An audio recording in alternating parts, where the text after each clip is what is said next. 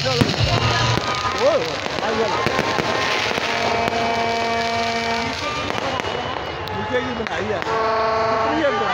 you, thank you so much. Once again, thank you very much.